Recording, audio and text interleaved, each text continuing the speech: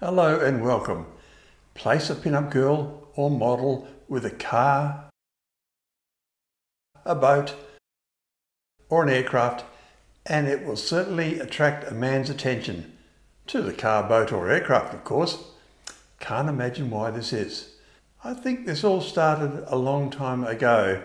The tradition of pilots decorating their aircraft with saucy names and pictures took hold in World War II Often this went against military regulations to do so. Tastefully done, these drawings can be considered a work of art. Here I offer you this collection and all you have to do is vote on your favourite by leaving a comment. Do keep it clean.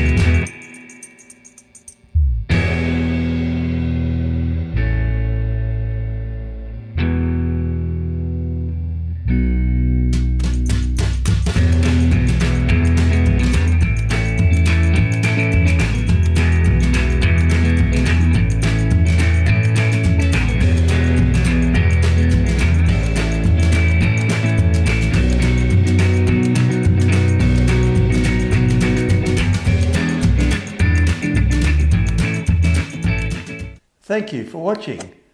Like and subscribe to promote new content.